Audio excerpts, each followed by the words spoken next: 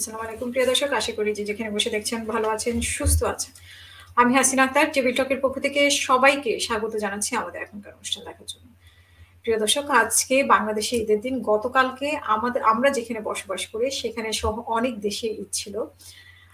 আর বাকিটা আজকে অবশ্য রাত বারোটাও পার হয়ে গেছে।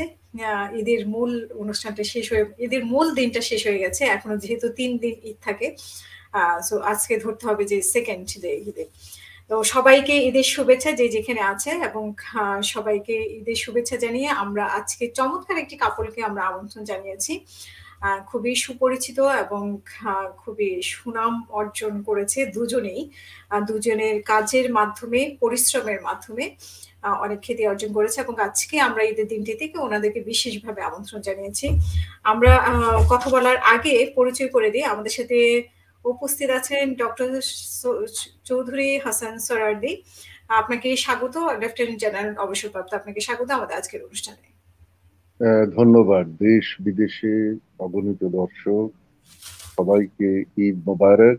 ঈদ মোবারক ম্যাডাম হাসিনা আক্তার। আপনি আমাদেরকে দাওয়াত দিয়েছেন সেজন্য ধন্যবাদ। অসংখ্য ধন্যবাদ। আজকে ঈদের ব্যস্ততার পরেও আপনি আমাদেরকে সময় দিয়েছেন। আমাদের সাথে উপস্থিত আছে এক সময়কার খুবই জনপ্রিয় উপস্থাপিকা এবং যেই, যার কথা শুনে অনেকেই, অনেক মহিলা তাদের নিজের জীবন গড়তে সহায়তা করেছে। অনেক তরুণ তরুণী নিজেদেরকে সামনে এগিয়ে নিয়ে যেতে সহায়তা, সহযোগিতা পেয়েছে তার কথার মাধ্যমে। সে হচ্ছে স্বর্ণ কিশোরী পাওনার ফারজানা ব্রাউনিয়া। ফারজানা ব্রাউনিয়া, আপনাকে স্বাগত আমাদের আজকের অনুষ্ঠানে। ঈদের শুভেচ্ছা জানাচ্ছি যে যেখান থেকে আমাকে শুনতে পাচ্ছেন, আমাদেরকে শুনতে পাচ্ছেন। ঈদ মানেই হচ্ছে আনন্দ, ঈদ মানেই পরিবার। আর তাই বাংলাদেশ পরিবারের যে ভাই, যে বোন যেখানে আছেন দেশের বাইরে ইউনাইটেড স্টেটস অফ আমেরিকা থেকে শুরু করে ইউকে যে যেখানে আছেন, সবাইকে অনেক অনেক ভালোবাসা এবং ঈদের শুভেচ্ছা জানাই দুজনকে অনেক অনেক শুভেচ্ছা। প্রথমেই শুনতে চাইব দুজনে আজকে কীভাবে সময় কাটিয়েছেন, পুরো দিনটা কীভাবে গেল? এখন তো প্রায় দুটো বাজে। সেই সকাল থেকে রাত পর্যন্ত কি করেছেন? কীভাবে সময় কাটিয়েছেন আপনারা দুজনেই? খুব ইন্টারেস্টিং সকাল সাতটায় আমার মামাকে দাওয়াত দেওয়া হলো। তিনি আসলেন। ওনাকে নিয়ে নামাজ আদায় করলাম সেখান থেকে আরেকজন মামার বাসায় গেলাম মিরপুর। খাওয়া দাওয়া করলাম অবশ্যই মাঝখানে আমাদের। তারপরে মামার বাসায় গেলাম মামা মামির সাথে কথা বললাম সময় ব্যয় করলাম। শামসুল কবির খান এবং সেখান থেকে আমার আরেকজন চাচার কাছে গেলাম জাফর আহমদ চৌধুরী। মানে ফ্যামিলি গ্যাদারিং সেখান থেকে আমার আরেক বড় ফুফার কাছে গেলাম, উনি প্রায় নব্বই এর কাছাকাছি বয়স। জনাব আহমেদ মুস্তফা এক সময় মার্কিন যুক্তরাষ্ট্রের ইন্ডাস্ট্রিতে কাজ করেছেন।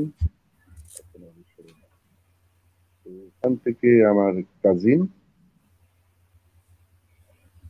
কাসিমা আহমেদ, তার বাসায় তার মানে আসলে আমরা প্রায় রাত বারোটাই ব্যাক করেছি। এর মাঝখানে ব্রাহ্মিয়ার বড় মামার বাসায় গিয়েছি। আমাদের সময়টা কিন্তু আত্মীয় স্বজন ওনাদেরকে নিয়েই কেটেছে। যাওয়ার সময় কিন্তু বাচ্চা এবং সকলকেই সাথে নিয়ে গেছে। এটা একটা ভালো দিক আমাদের ঈদের আনন্দটা পরিবারের আনন্দ হিসেবে আমরা উপভোগ আমি ব্রাউনিয়া আপনার থেকে শুনতে চাইব যে আজকের ঈদটা আপনার থেকে করোনার দুই বছরের পরে আজকের ঈদটা মানুষ একটু স্বস্তির সাথে নেওয়ার সুযোগ পেয়েছে। তো আপনার কেমন কেটেছে এবং আপনাদের কেমন কেটেছে? এবারের ঈদটা একটু অন্যরকম, ঠিক বাড়ি ফেরার মতো। অনেকদিন দেশের বাইরে থেকে যখন বাড়িতে আমরা ফিরি বিশেষ করে আমার দুবাইয়ের যে শ্রমিক ভাইরা আছে, তাদের সাথে অনেক ফ্লাইটে যখন একসাথে এসেছি, দেখেছি যে ফ্লাইটটা ল্যান্ড করার সঙ্গে সঙ্গে আমার ভাইয়েরা দাঁড়িয়ে গেছে। এবং শত বকা খেয়ে আমিও অনেক সময় তাদের সাথে দাঁড়িয়ে গেছি। বিকজ দেশে বা পরিবারে ফিরে আসার আনন্দটা আসলে এমনই। ঠিক তেমনি গত বছর, তার আগের বছর যেমন একটা গুমোট বিষয় ছিল, ঈদের খুশিটা যেমন একটু কম্প্রোমাইজড ছিল। যেমন আমরা, আমাদের সিনিয়র যারা, আমার শ্বশুররা আছেন, আমার সিনিয়র মামা চাচারা আছেন, তাদেরকে দেখতে যাওয়া হয়নি গত ঈদে। ইচ্ছে ছিল, কিন্তু মনে হচ্ছিল যে আমরা দেখতে গেলেই বোধহয় তাদের অসুখ করবে, তাদের বোধহয় করোনা হয়ে যাবে বা আমরা হয়তো তাদেরকে ইনফেক্টেড করে ফেলব। তো সেই জায়গা থেকে ইট ওয়াজ ফ্যান্টাস্টিক আর আমার তো পরিবার বলতে আমি বুঝি বাংলাদেশ পরিবার। বাংলাদেশ পরিবারের আটটি ডিভিশনে আমাদের স্বর্ণ, কিশোরী, সূর্য কিশোরা সৌহার্দ্য বিতরণ করেছে এবং আমি অনেক গর্বিত যে বাচ্চারা ঈদের আগের দিন রাতে চাঁদ রাত মানে যে আনন্দ ভাগাভাগি করে নেওয়া এটা শিখেছে। এমনকি আপনারা জানেন যে ঝালকাঠির যে স্বর্ণ কিশোরী আছে, সেই মেয়ে যে ইউনাইটেড স্টেটস অফ আমেরিকা থেকে ফার্স্ট লেডি থেকে সাহসিকতার পুরস্কার এনেছে। সে তো প্রতিবার ঈদ আমার সঙ্গেই করে। তো এবারও সে আমার সঙ্গে ঈদ করেছে। এবং আমরা সারাদিন একটা গাড়ির মধ্যে করে কখন আমি চালিয়েছি, কখন আমার ছেলে চালিয়েছে। তো আমরা একসঙ্গে ছিলাম। এই যে সকাল থেকে একদম রাত পর্যন্ত একসঙ্গে থাকা আমার কাছে এর নামই ঈদ। আর আমার কাছে ঈদ মানে হচ্ছে যে ইউনাইটেড স্টেটস অফ আমেরিকাতে যারা আমাদের পুরো পরিবার থাকেন, সুতরাং আমরা কিন্তু আসলে দুদিন ঈদ করি। প্রথম দিন অর্থাৎ যেখানে ইউনাইটেড স্টেটস অফ আমেরিকাতে ঈদ হয়, সেদিন আমরা অনলাইনে থাকি। এবং অনলাইনে আমার ভাইয়ের বাড়ি হচ্ছে সেখানে আমার আপন ভাই যে আছে, সেই হচ্ছে সিনিয়র মোস্ট ভাই বোনদের মধ্যে। তো ওর বাড়িতেই সবাই আসে নামাজ পড়ে। তো সবার সঙ্গে এক ফ্রেমে একবারে দেখা হয়। পুরো আমেরিকাতে আমাদের যারা আছেন সত্তর জন প্রায় আমাদের খুব কাছের পরিবার। পরিবারের আসলে আমি বলব আমার পরিবার আমেরিকাতে থাকে। আমার আপন ভাই, ভাবি তাদের বাচ্চারা, বাবা, মা সবাই আমেরিকাতে থাকে। আমি থাকি আমার বাংলাদেশ পরিবারের কাছে। তো দুটো মিলে একটা অসাধারণ ঈদ হয়েছে বলতে হবে। আর হলো যে এভাবেই যেন থাকে আমাদের ঈদগুলো, আনন্দ ভাগাভাগি করে নিয়ে যাতে আমরা সুখে থাকতে পারি মহামারী, অতিমারী, এই বিষয়গুলো যেন আমাদেরকে আর আঘাত করতে না পারে, আমাদের সবাইকে সেজন্য প্রার্থনা করতে হবে। আর ভালো মানুষ হতে হবে। কারণ আমরা যখন খারাপ কাজ করি, তখনই প্রকৃতি একটা প্রতিশোধ নেয়। মহামারীর মতো আর যদি মহামারী না চাই তাহলে আমাদেরকে ভালো হয়ে যেতে হবে। হাসিনা আপনাকে ঈদ মোবারক এবং ঈদের সেমাই নিশ্চয়ই উপভোগ করেছেন। সেমাই শব্দটা ঈদের সঙ্গে একটু ওতপ্রোত ভাবে জড়িত মায়ের হাতের সেমাই। তো আমি আমার মায়ের হাতের সেমাই মিস করেছি কিন্তু আমার নানির হাতের যে সেমাই ছিল সেটা আমি আজকের ঈদের সবচাইতে শেষে আমার বড় মামির কাছে খেতে পেয়েছি। এবং তখনই আমার মনে হয়েছে যে আমার ঈদটা যেন একটা কমপ্লিট একটা ঈদ এবারে হাসিনা আপনার কাছে জানতে চাইব আপনার ঈদটা কেমন ছিল? হ্যাঁ আমরা আসলে বাংলাদেশে যে এরকম ঈদ করতাম এইখানে আমরা সেই ঈদের মজাটা সেরকম পাই না। ঈদের রাতে আগের দিনের রাতে যে চাঁদ রাতের যে মজাটা ওইখানে ছিল এখানেও মজা হয়। এখানে ঈদের দিনেও মজা হয় চাঁদ রাতেও মজা হয়। কিন্তু এখানে মনে হয় যে সবকিছু একটু আর্টিফিশিয়াল যেহেতু আমরা ওইখানে বড় হয়েছি ওই মজাটাই আমাদের চোখে মনে সব জায়গায় গেথে আছে। তো ওইটাকেই আমরা আসলে মিস করি সব সময় এখানে আমরা আমি তো এখানে প্রায় চোদ্দ বছর হয়ে গেছে তারপরও কেন জানি সব কিছুতেই বাংলাদেশটাকেই মিস করা হয়। তো সেই আচ্ছা একটা গান বলেন তো ঈদের গান।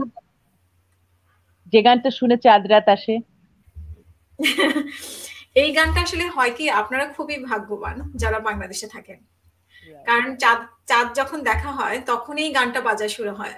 সব জায়গা থেকে। কিন্তু আমরা এটা মিস করি। আমরা হয়তো দুই এক জায়গা থেকে শুনি বা নিজেরাই মোবাইলে এটার মানে স্বাদ গ্রহণ করার জন্য আমরা নিজেরাই বাজাতে থাকি বা শুনি।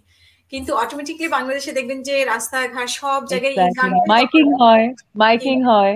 হ্যাঁ তো আপনি খুব ভালো লেগেছে আপনি গানটির কথা বলেছেন। ফারজানা ব্রাউনিয়া এবং হাসান ভাই দুজনকেই আমরা যদি জানতে চাই আমাদের দর্শকদের হয়ে যে আপনাদের আপনাদের ব্যাপারে মানুষের অনেক কৌতূহল ঠিক আছে? মানুষের এত কৌতূহলের জায়গা কেন? আপনারা কি এমন করেছেন যে মানুষের এত কৌতূহল আপনাদের বিষয়ে? এবং খুব বিশেষ করে আপনারা দুজন দু জায়গা থেকে যখন একসাথে হয়েছেন এই কৌতূহলটা মনে হয় যে এই কৌতূহলটা তখন থেকেই শুরু হয় ইনফ্যাক্ট কেন? কি আমি শুরু করব? প্লিজ অবশ্যই। আমি এবং ফারজানা ব্রাউনি আমাদের দুজনেরই একটা অর্জন আছে, নিজ নিজ ক্ষেত্রে। সেই অর্জন কিন্তু দেশের জনগণ খুব ভালো করে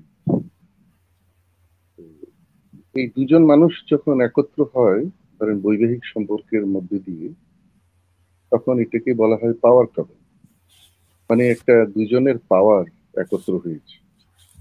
তো ঠিক এরকম একটা ঘটনা কিন্তু বাংলাদেশে সহজে ঘটে না। এটা একটা কারণ, আর দ্বিতীয় যেটা আমি কিছু কাজ করি। যেমন ব্রাউনিয়া সমাজসেবামূলক কাজ করি। আমিও জনগণের জন্য, তাদের অধিকারের জন্য কিছু কাজ করি। তো সেটা হয়তো মানুষ ভাবে কিছু লোক যে ও তো একটা নেই বোধহয় উপরের দিকে চলে যাচ্ছে। তাকে থামাতে হলে তার বিরুদ্ধে কিছু চরিত্র হননের কাজ করতে হবে। তার স্ত্রীর বিরুদ্ধে চরিত্র হননের কাজ করতে হবে। এটা এখন ওয়ার্ল্ডের একটা ট্রেন্ড হ্যাঁ? পুতিনের বিরুদ্ধে শুরু হয়েছে, মনে করেন রাশিয়ার। এটা মনে করেন যে পৃথিবীর অনেক দেশে, আমি মাঝে মাঝে বেদনাহত হই যে বাংলাদেশের অনেক বড় সরকার প্রধান, কিংবা রাষ্ট্রপ্রধানদের বিরুদ্ধে এসব হয়। কিন্তু ব্যাপারটা হলো, সে যাই হোক, আপনি যে প্রশ্ন করেছেন আমাদেরকে নিয়ে এত টানা হিসরা একটা রিক্সাওয়ালা কপলের জন্য যদিও যথেষ্ট সম্মান নিয়ে বলছি কেউ উদ্বিগ্ন হবে। উদ্বিগ্ন হবে জেনারেল সার্ভার ফারজানা ব্রাউনিয়া তার বিশাল নেটওয়ার্ক। আমার একটা বিরাট কনসেপ্ট আছে। I fight for dignity and democracy dignicracy এবং এই ফিলোসফিটা আমি কোনো রাজনৈতিক দলের থেকে ধার করে না। আমার ব্যক্তিগত। আমার মনে হয়েছে যে আমাদের হিউম্যান ডিগনিটি এবং ডেমোক্রেসি রাইটস এটা বোধ হয় হারিয়ে ফেলেছে। দেশ স্বাধীন ক্রমান্বয়ে এটাকে ফিরিয়ে আনতে হলে একটা মৌলিক কাজ করতে হবে। সেটা যারা রাজনীতি করেন তাদেরকে দিয়েও সম্ভব। আবার যারা এটা নিয়ে ভাবেন, তারাও কাজ করতে পারেন আমি কোনো রাজনীতি করি আমি কোনো দলের সদস্য নই এবং যোগও দিই তবে আমি আমার নিজস্ব অবস্থান থেকে এই কাজটা করি।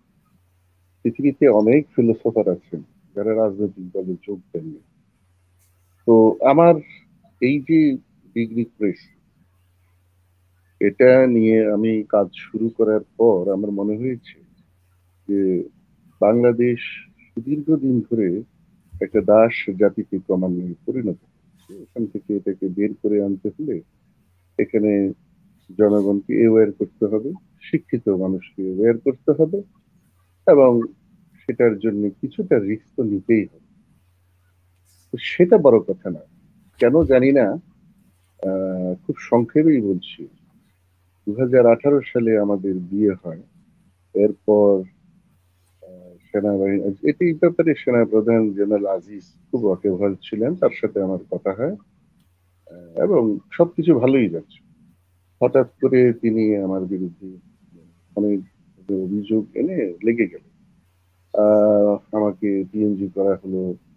এরপরে দুঃখজনক হলো, একটা চিঠি ইস্যু করলেন, যেটা বাংলাদেশের সকল টেলিভিশন প্রচার মাধ্যমে একযুগে যুগপথ প্রচার করা হলো। সেখানে একেবারে ক্লিয়ারলি কতগুলো কথা বলা ছিল যে তিনি একটি বিয়ে করেছেন বিতর্কিত এবং নষ্ট নারীর সাথে। আমি, আমার নিজস্ব সংগঠন, আমি শ্রদ্ধার সাথে আমার সংগঠনকে স্মরণ করি এবং আমি এখনও মনে করি যে one of the best organisation এই দেশে গুটি কয়েক লোক, একজন দুজনের জন্য তো আর আমার সংগঠন খারাপ না। এবং আমার মনে হয়েছে যে এটা সম্ভব মিস্টার আজিজের দ্বারা। তিনি এটা প্রচার করালেন, নারীর বিরুদ্ধে সহিংসতা, নারীর বিরুদ্ধে আক্রমণ, এগুলি করালেন। মানে ওনার কোথায় গিয়ে লেগেছে? মানে ওনার জায়গাটা আক্রমণে ওনার ওনার লেগেছে কোথায় আমি এটা কঠিন বিষয় সেটা ওনাকে জিজ্ঞেস করলে হয়তো ভালো হতো। মানে কোরবানির ঈদে যদি ওনাকে দাওয়াত দেওয়া যায় ওনার সকল স্ত্রীদের হ্যাঁ। সাথে কেমন হয়? খুব ভালো হয়। আমি আমি কিন্তু ওনাকে দাওয়াতও দিয়েছি। উনি ইচ্ছা করলে ওনার সব স্ত্রীদেরকে নিয়ে আসতে পারতেন। কিন্তু তিনি তা করেননি। তিনি আমার বিরুদ্ধে লাগলেন। এবং পরবর্তীতে উনি আমার স্ত্রী যখন এর প্রতিবাদ করলেন যে আপনি কি করে একজন নারীর বিরুদ্ধে এগুলো আর্মি সংগঠন হিসেবে লিখলো, বাংলাদেশ সিডর এগ্রিমেন্টে সাইন করেছে এবং একজন সিগনেটারি দেশ এই ধরনের কোন সংস্থা এইসব কথা বলতে পারে সরাসরি। তখন এরা আরও উত্তেজিত হয়ে উঠল। এবং বোধহয় পরের দিন থেকেই ফারজানা ব্রাউনিয়া এবং আমার নামে অনেক অশ্লীল সেই অশ্লীল চিত্রগুলো কি আমি সেটা যাব না। তো সেইটা হলো বেসিক কে করেছে? মিস্টার আজিজ এন্ড গং এটা ওনার দ্বারা সম্ভব ছিল বিকজ উনি ওই রকম একটা রুচির লোক, তাই আমি চেপে গেছি। কিন্তু এখন আপনি যে প্রশ্নটা করেছেন, ওই সকল ব্যক্তি যারা পৌঁছে গেছে আজিজের সাথে থেকে এবং যারা সংস্থাতে চাকরি করেছে ওই সকল লোকেরা এই ভিডিও গুলোকে ব্যবহার করে আরও এটাকে অনেক রকমের রস এবং দিয়ে আচ্ছা হাসান ভাই আমরা দুই বছর আগে যখন আপনারা বিয়ে করেছিলেন তখন আমরা কিছু এগুলো দেখেছি। হ্যাঁ হঠাৎ করে আবার কি এমন হয়েছে আপনাদের সাথে? বা হ্যাঁ, আপনারা কি করেছেন যে আবার এগুলো ভাইরাল করতে হলো? ভাইরাল করতে হলো কেন? এটা এই প্রশ্নটা আবারও বলব। কি খারাপ লোকেরা কিন্তু এগুলোতে খুব আনন্দ পায়। আচ্ছা, এবং এই আনন্দটা আমি যদি ব্রাউনিয়া থেকে একটু শুনতে চাই আসলে নষ্ট নারী বলতে আমাদের সমাজ কি বোঝায়? বা যারা আপনাদের মানে এই শব্দটা ব্যবহার করে থাকে কিছু কিছু নারীর ক্ষেত্রে তারা আসলে কি বোঝায়? আর বিয়ে করা মানে দুটো বা তিনটে বিয়ে করা কি নষ্ট নারীর পর্যায়ে পড়ে কিনা ব্রাউনিয়া এটা আসলে শিক্ষার অভাব আমি বলব, কারণ আবেদনিক অর্থে নারী, নষ্ট নারী, নষ্ট মানব, এই ধরনের বা নষ্ট পুরুষ, এ ধরনের কিছু আমি আমার দীর্ঘ লেখাপড়ার জীবনে কখনো দেখি তো ধরেন যারা খুব অশিক্ষিত হয়, তারা একটা যে কোনো মানুষকে নষ্ট মানে হচ্ছে খারাপ, এটা বোঝায়। খারাপ বলতে এক একজন এক একভাবে এটাকে সংজ্ঞায়িত করবে। যে খারাপ, যেমন আমার কাছে যদি বলেন আপনি যে খারাপ মানুষ কি, আমি বলব যে ঘুষ খায়, যে সন্ত্রাস করে, যে অন্যের অধিকার হনন করে যে দেশের টাকা পাচার করে এই মানুষগুলোকে আমি বলব খারাপ মানুষ। আর অনেকে আছে যে একাধিক বিয়ে করাকে বলবে খারাপ বা অনেকে বলবে, তো এই যে এখন নষ্ট নারী বলতে এই পাচারকারী বা এই দুষ্কৃতিকারীরা কি বোঝাতে চাচ্ছে এটা আসলে তাদের কাছেই বুঝতে হবে। আর আমি এই যে ভিডিওগুলো নাকি তারা করেছে, সবগুলো দেখার সুযোগ আমার হয়নি। আমার একটা টিম আছে, তারা দেখে এবং তারা দেখে দেখে আমাকে রিপোর্ট করে। তারা ইউটিউবে যা যা করা উচিত স্টেপ বাই স্টেপ সেগুলো তারা করেছে। অ্যান্ড এই বিষয়টাকে আমি আসলে খুব বড় করে দেখছি না। কিছু নষ্ট মানুষ নষ্ট কাজ করবে ধরেন আপনার সাপ আঁকাবাঁকা হয়ে চলবে এবং ছবল দেবে। কোনো একটা ড্রেন আছে বড়, আপনি এটা পার হবেন। অবশ্যই আপনার গায়ে একটু দুর্গন্ধের পানি লেগে যেতে পারে। তো দীর্ঘ চলার পথে পৃথিবীর সকল মানুষ যারা আমাদের মতো সংগ্রাম করেছে, তার সংগ্রামটা কিন্তু সহজে সে পায়নি। একটা দল তাকে বাধা দেবে, সে দল তাকে পিছে টেনে ধরবে, টেনে হেঁচড়ে নামিয়ে ফেলবে। সেই বাধা পার করে গিয়েই আমাকে আমার লক্ষ্যে পৌঁছতে হবে। সুতরাং এই নষ্ট নারী বলে তারা চেষ্টা করেছে পা টেনে ধরতে। সেটা ওয়ার্ক করেছে বলে আমার মনে হয় না। কারণ তারা ভিডিওগুলো দেওয়ার পরে আমি যে এবার ঈদটা আমাকে অনেকে ভালোবেসে সাজেস্ট করেছে যে আমি টিকিট পাঠিয়ে দিব। আমার পরিবার আমি আগেই বলেছি, সবাই ইউনাইটেড স্টেটস অফ আমেরিকা থাকে। তো তারা আমাকে বলেছে, আহ্বান জানিয়েছে আমার মামা, আমার ভাই এভরিওয়ান যে তুমি চলে আসো জাস্ট ফর গ্যারেট ঈদটা আমাদের সঙ্গে করো ফুল ফ্যামিলি দেন তুমি আবার চলে যেও। এটা জাস্ট ভালোবেসে বলেছে যে চলে আসো। আজে বাজে কথা বলছে সবাই, তুমি একটু এখানে থেকে পড়ে যাও। But I did not because I believe যে যদি কারও দেশ ছাড়তে হয়, দুষ্কৃতিকারীরা ছাড়বে। অফকোর্স নট মি আমাকে ডাকাতি হয়েছে। এখন ডাকাত এখানে পালিয়ে যাবে। আমার ডাকাতি হয়েছে, আমি তো পালাবো না। তো আমাকে আক্রমণ করেছে, এবং আমি নির্দোষ।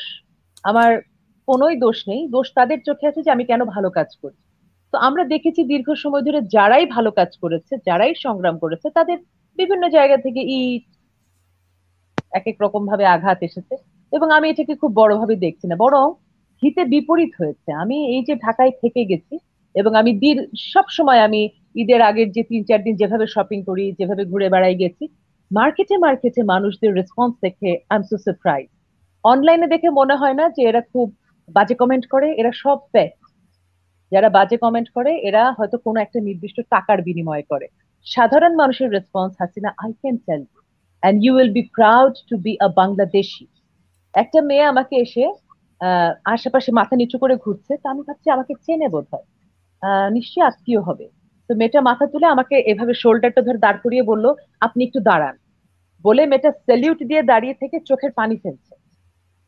আমার সাডেনলি মনে হয়েছে যে তার মানে এই মেয়েটাও একই বেদনার মধ্য দিয়ে গেছে। নিশ্চয়ই তাকে কেউ না কেউ কোনো সাইবার বুলিং এর শিকার করেছে এবং সে হয়তো সুইসাইডাল হয়ে গিয়েছিল কোনো রকমে বেঁচে আছে অথবা it could be anything you understand Hasina.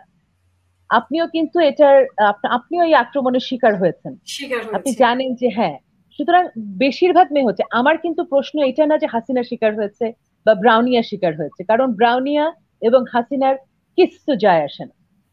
আমি কিচ্ছু যায় আসে না বলিনি। আমি বলেছি, কিচ্ছু যায় আসে না। মানে হচ্ছে খুব জোর দিয়ে বলেছি, থোড়াই আমরা কেয়ার করি। কেন কি আমরা একটা জায়গায় এসে পৌঁছেছি। আমার পাশে এখন যিনি বসে আছেন, একই রঙের কাপড় পরা আমরা। আমাদের মনের রং এক এবং আমরা একই সঙ্গে দেশের মানুষের জন্য কাজ করবার জন্য ব্রত। এবং সেখানে ব্রাউনিয়া এবং সার্ভারদি এক হয়েছে, যেটার নাম আমরা দিয়েছি ব্রাউন ওয়ার্ডি ট্রাস্ট। আমাদের সম্পদের নির্দিষ্ট অংশ সাধারণ জনগণের জন্য আমরা এখনই উৎসর্গ করেছি। আমাদের খুব সম্পদ নেই কিন্তু। ধরেন আমার পাঁচ টাকাই আছে, সেখান থেকে আমার এক টাকা চলে যাবে। আমার বাচ্চারা পাবে এত টাকা, আমার জনগণ পাবে এত টাকা, আর আমার ভালো কাজে ব্যবহৃত হবে এত টাকা। আমাদের ভাগ করা আছে, আমাদের ব্রাউন বার্দি ট্রাস্টে। তো সেখানেই আমাদের মিলনটা হয়েছে, আমাদের আত্মার একসাথে থাকাটা হয়েছে। তো মানুষের রেসপন্স আপনি দেখলে অবাক হয়ে যাবেন এই যে মেয়েটা, এখন এর পরে কি হবে হাসিনা? আমি, আপনি তো কোনো ব্যাপার না, আপনি এখন ইউনাইটেড ইউকে তে আছেন। আমি তো আগেই বলেছি, আমার জন্য ন্যানো সেকেন্ডের একটা ডিসিশন যে আমি আজ থেকে আমেরিকাতে থাকব। এটা ন্যানো সেকেন্ড এক সেকেন্ডও না। তা আমি যদি কাল সকালেই ফ্লাইট নিয়ে চলে যাই ফুল ফ্যামিলি আমার বা, ভাইয়ের বাড়ি আছে, মামার বাড়ি আছে, সত্তর জন আমার ফার্স্ট ফ্যামিলি সেভেন্টি এবং আমার এখানেই বরং কম মানুষজন, আমি বাংলাদেশের মানুষের জন্য আই স্টেট ব্যাক তো আমি চলে গেলাম আমার মেয়ে বেঁচে গেল। এখন আমার প্রশ্ন হচ্ছে বাংলাদেশের বাকি মেয়েদের কি হবে? তারা কি এরকম সাইবার বুলিং এর শিকার হতেই থাকবে? বা ছেলেদের কি হবে? ছেলেদেরও সাইবার বুলিং হয়। ছেলেদেরকে আপনার একতরফা দোষ দিব যে শুধু ওরাই সাইবার বুলিং করে মেয়েদেরকে তা কিন্তু না। মানে ছেলেরা ছেলেদেরকেও করে। এটা হচ্ছে কি ব্রাউনিয়া যে নির্দিষ্ট করে একজন মানে একে হেও করতে হবে সামাজিক ভাবে সামাজিক সোশ্যাল মিডিয়ার মাধ্যমে। টার্গেট করে যে করা হুম সেই জিনিসটাকে ছড়িয়ে দেয় ইভেন বুস্টিং করে খুব ইজিলি মানে মুহূর্তের মধ্যে কিন্তু I am sorry Hasina it doesn't work like that আমরা মনে করি দেখছে আসলে কেউ দেখছে না কেউ জানে না এবং সাধারণ মানুষগণ বরং মানে ভালোগুলোই জানে। একজন আর্মি অফিসার আমাকে এসে দাঁড়িয়ে বলেছে যে আপনার মতো এরকম সাহসী সৈনিক দেশের আরও একশোটা জন্মাবে। আপনি একজন শ্রেষ্ঠ মা আপনি একজন শ্রেষ্ঠ স্ত্রী। তো আমি আমি তো বুঝতে পারতেছি না। মানে আমার পপুলারিটি আমার মনে হচ্ছে আফটার দিস ইটস ইনক্রিজিং তার মানে সাধারণ মানুষ সব বোঝে। আমি কি বলছি আসিন আপনি একটু মনোযোগ দেবেন। দর্শক, আপনারাও মনোযোগ দেবেন। সাধারণ মানুষ বোকা না। সাধারণ মানুষ সব বোঝে। কে করছে, কেন করছে, কখন করছে, কি উদ্দেশ্যে করছে, সব বোঝে। কিন্তু তাদের উদ্দেশ্য কেন সফল হয়নি এটা বোধহয় হাসিন আপনি জানেন, কারণ সার্ভারদি এবং ব্রাউনিয়া, উনি শুরুতেই বলেছেন আমার হাজবেন্ড যে আমাদের যে কাজ, যেমন আমি আই এম ভেরি প্রাউড যে আমি general Sarwardi wife only because এমন একজন জেনারেল যিনি এই এই সেনাবাহিনীর, আমি বলব একটা ঝলমলে তারকা, যে যেখানেই যাবে, যে কাজই করবে, নমস্য হবে, এটাই আমার উপদেশ থাকে আমার বাচ্চাদের জন্য। তুমি যাই করো, কৃষি কাজ করো, নমস্য হও। তুমি শিক্ষক, তুমি নমস্য হও।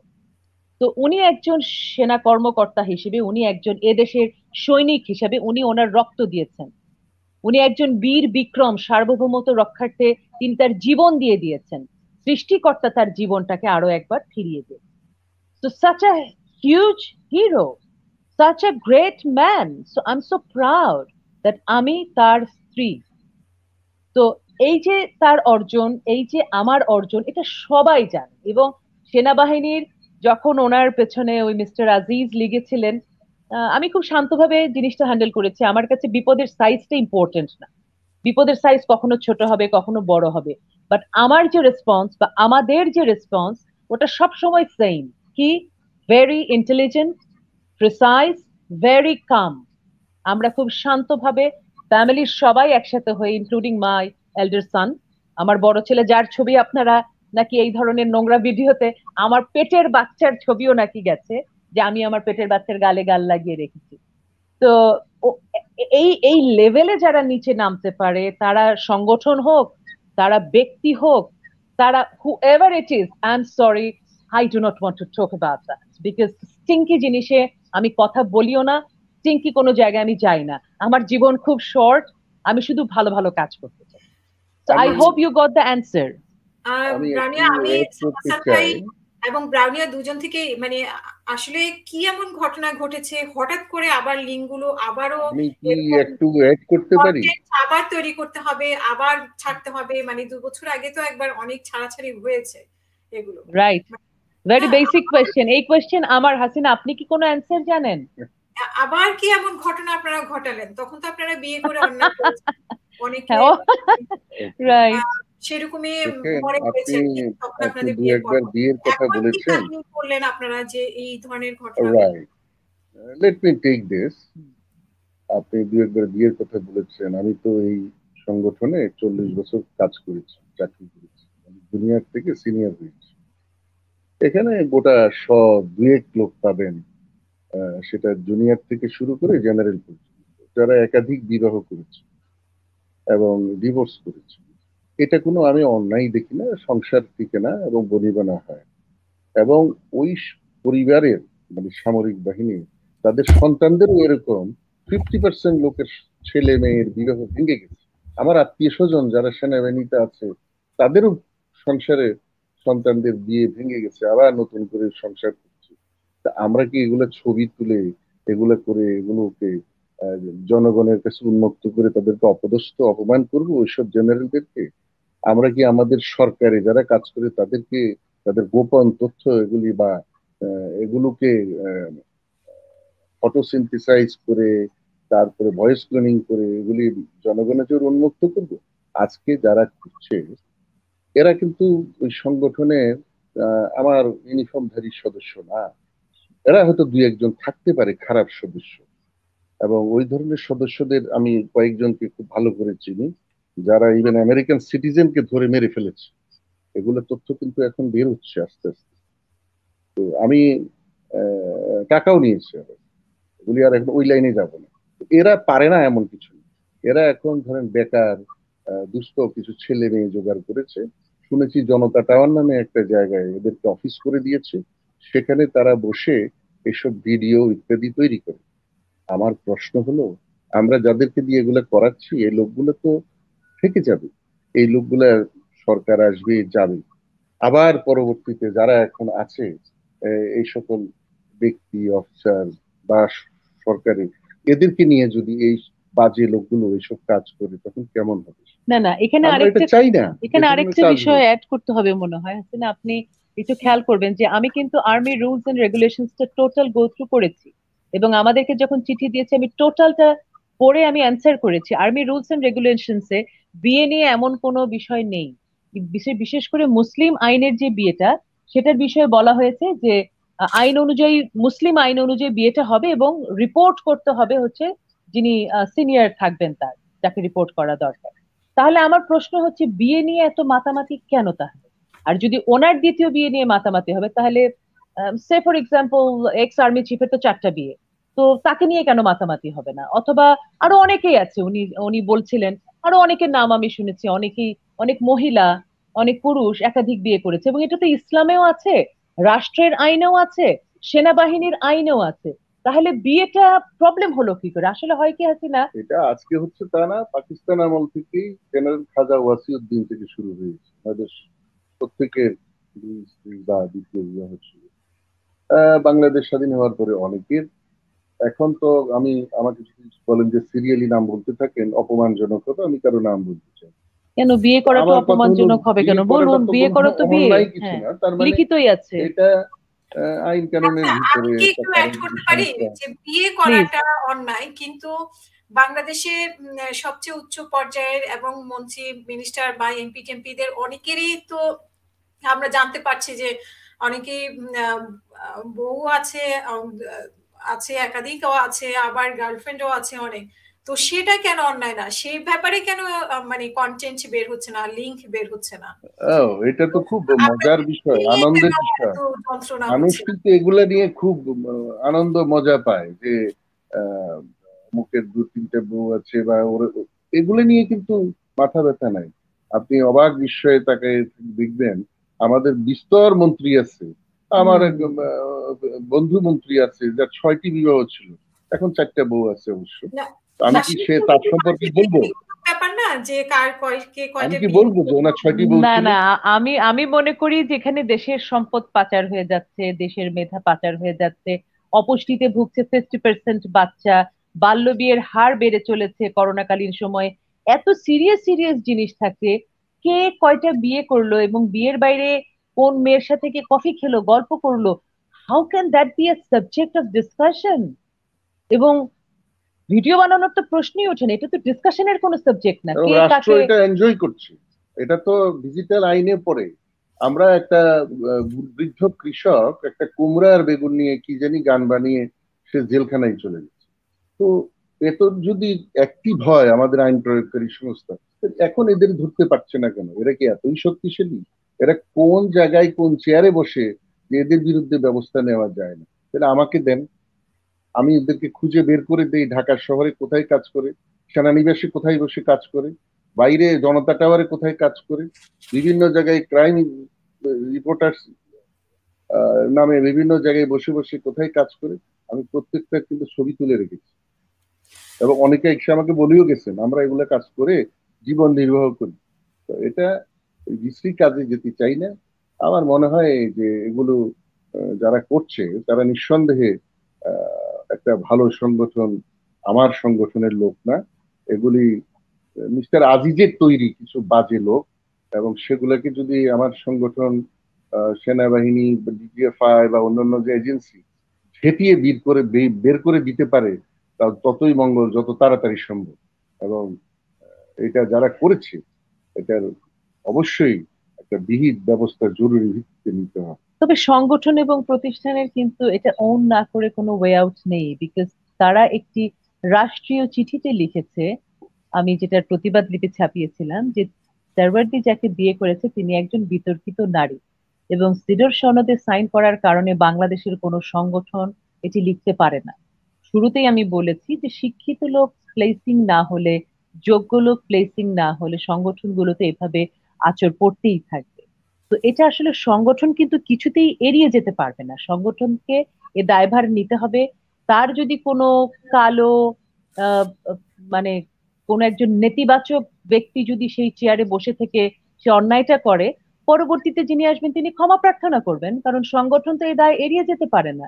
It is recorded and it is distributed all through the world United States of America থেকে শুরু করে সবাই জানে, প্রতিটা দেশ জানে যে বাংলাদেশের একটি সংগঠন থেকে এমন একটি চিঠি এসেছে, যেটি এটি এর জন্য তারা অবশ্যই রেসপন্সিবল হতে হবে। এবং যদি আপনি তাই ধরেন যে সেই চিঠির পরেই ভিডিওগুলো বের হয়েছে, এখন তাহলে তারাই করছে। স্বাভাবিক একটা সমীকরণে আপনি এসে বলতে পারেন যে তারাই করছে।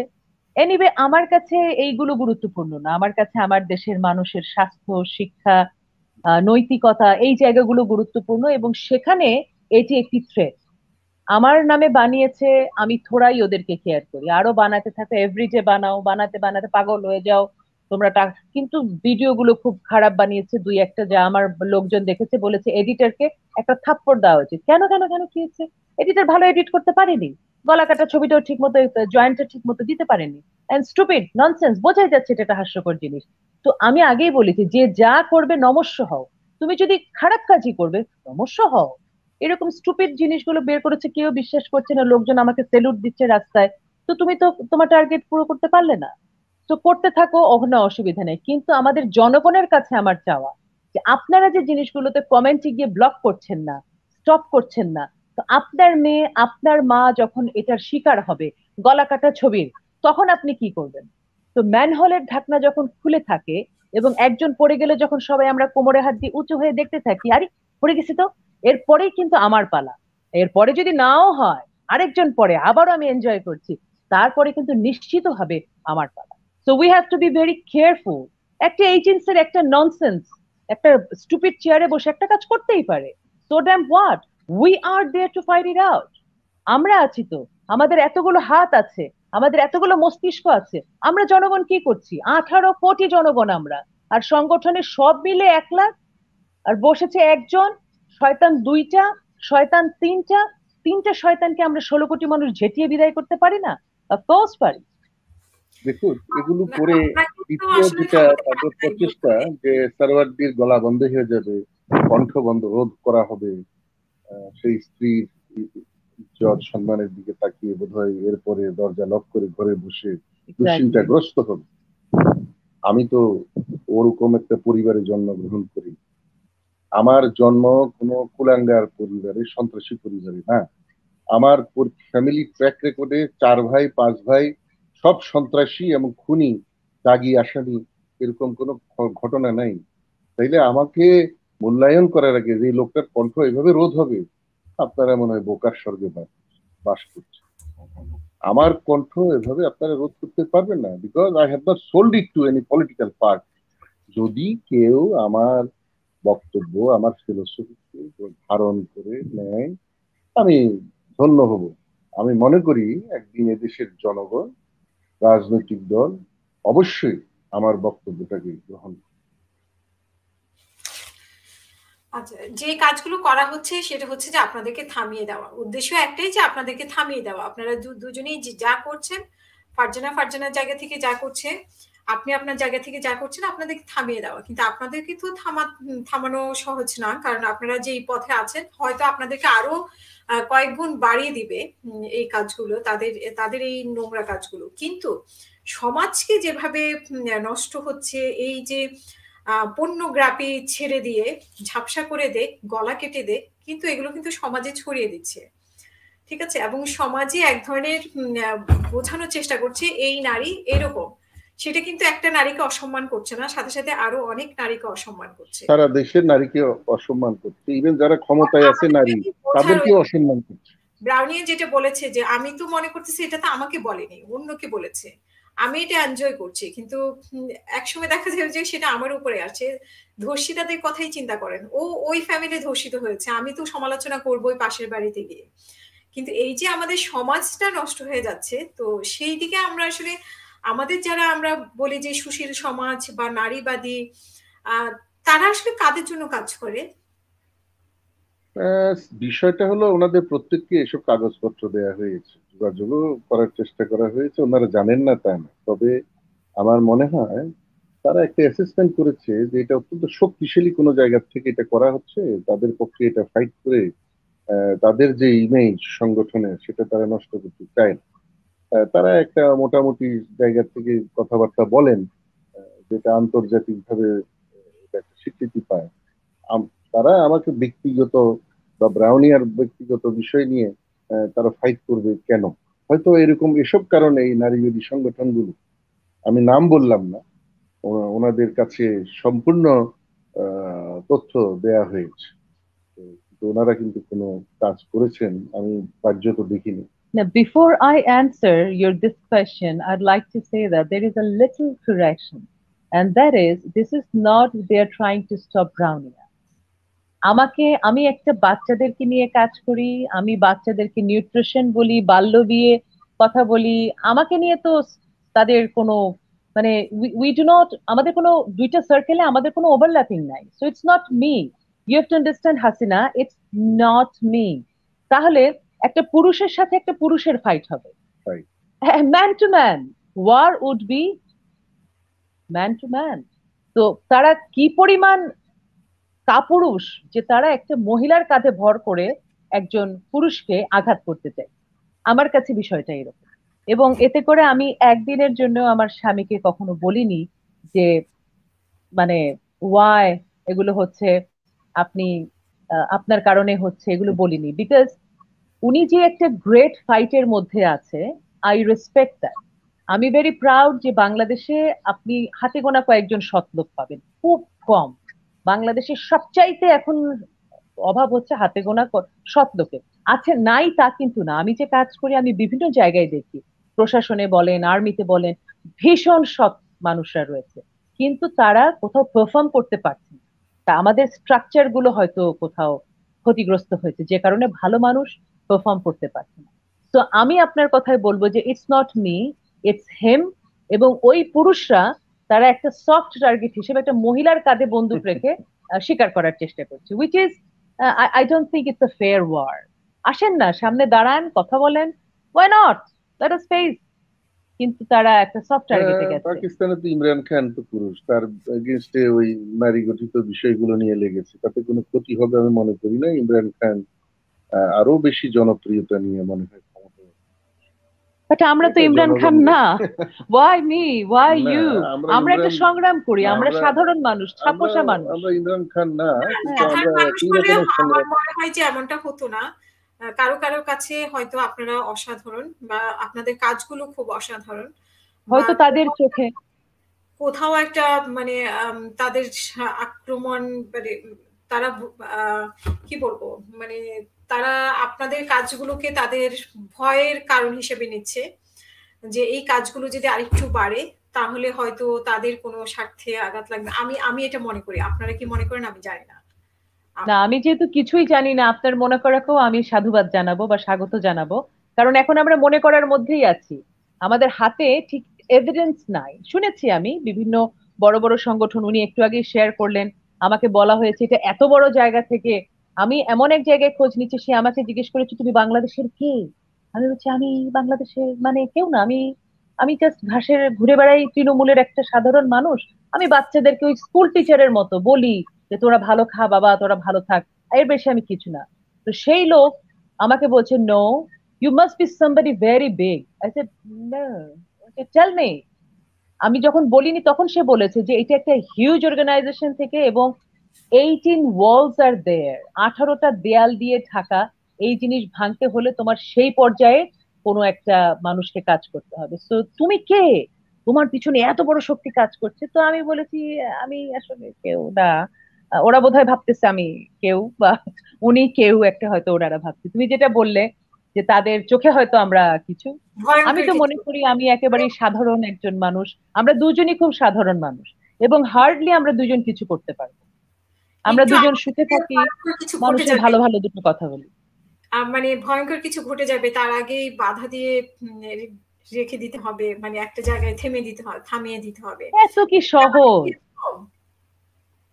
ব্যাপারটা এরকম? এত কি সহজ? আমি দুটো রাস্তায় বক্তৃতা করলেই সব হয়ে যাবে।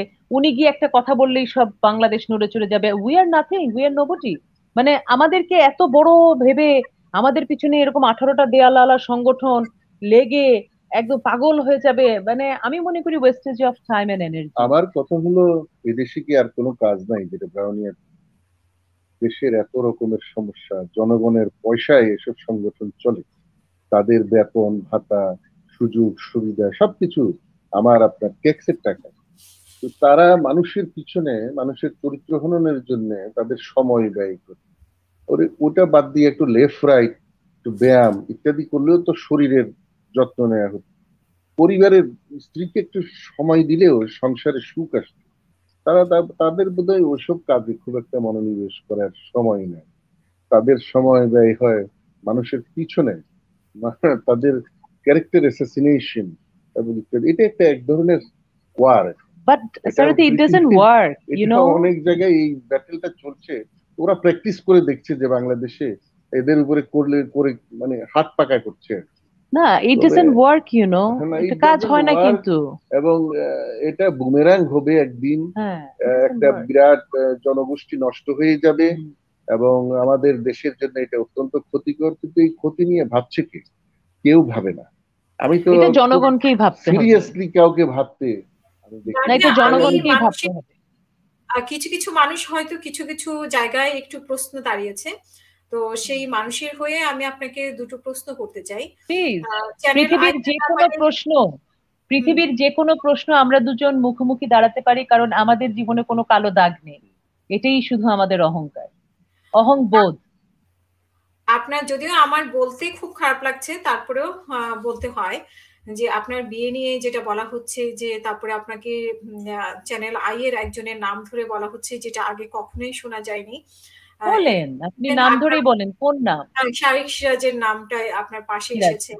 তারপরে আরেকজনের নাম আমি ঠিক এই মুহূর্তে ওনাকে মনে করতে পারছি না। ওনাকে আচ্ছা। আপনার হাজবেন্ড হিসেবে বলা হচ্ছে। এইগুলো কি আপনি একটু ব্যাখ্যা করবেন? না। এটা ব্যাখ্যা করা যাবে না, কারণ একেবারে ভিত্তিহীন কোনো কথা যেমন যদি আমার এমন কোনো ছোটবেলার বন্ধুর নাম আসতো যে আসলেই আমার বন্ধু, অথবা এমন একটা ছোট ভাই যার সাথে আমি একটু ঘুরে বেড়াই, এমন দুজনের নাম দিয়েছে, এটা হলো মানে কোন রকম কোনো কাজের ক্ষেত্রেও আর কোনো যোগসূত্র নাই এই টাইপের যেমন সিরাজ ভাইয়ের সাথে আমি কখনো কাজ করার সুযোগই পাইনি, কারণ উনি কাজ করেছেন নিউজে এবং হৃদয়ে মাটিও মানুষে। আমি মূলত ম্যানেজিং ডিরেক্টরের সাথেই কাজ করেছি ডিরেক্টলি আমি যেহেতু হেড অফ প্রোগ্রাম ছিলাম এবং পরবর্তীতে ডিজিএম হিসেবে কাজ করে। এবং আমি প্রোগ্রামে ছিলাম। সুতরাং নিউজে আমি কখনো যেহেতু কাজ করিনি, আমি সিরাজ ভাইয়ের সাথে কোথাও কাজ করার সুযোগ পাইনি, সেভাবে একটা ইভেন্টেও আমাদের যাওয়া হয়নি। হ্যাঁ আমাদের টিম আছে। সেই টিমের মধ্যে যদি কারও নাম বলতো, তখন আমি এক্সপ্লেইন করতাম যে, বিশ্বাস করেন, আসলে আমাদের ভাই বোনের সম্পর্ক, এগুলো বলতাম আমি হয়তো। কিন্তু এমন একটা আজীব কথা বলেছে এর উত্তর হচ্ছে আপনি কি এটা নিয়ে ব্যাখ্যা করবেন? My answer is an no yeah of course no it's nothing বিশেষ করে আপনি যদি এই প্রশ্নটা করতে চান আপনি সিরাজ ভাইকে বা আরেকজনের নাম যাকে পেয়েছেন তাকে পুরো নামটা আমার ঠিক মনে পড়ছে না যেই হোক whoever it is whoever it is আর অবশ্য ভিডিওগুলো সেভাবে ভিত্তিহীন বলা যায় সম্পূর্ণ হ্যাঁ। এবং যারা বিশেষ করে আমার চ্যানেলেই তো আমার পরিবারই ছিল আমি দীর্ঘ সময় কাজ করেছি অনেক লম্বা সময় ওরা যখন এগুলো দেখবে ওরা হা হা হা হা করে হাসবে। এবং আমি শুনেছি ওরা এটা নিয়ে খুব হাসাহাসি করে যে এরা কি গোড়ালিতে বুদ্ধি নাকি?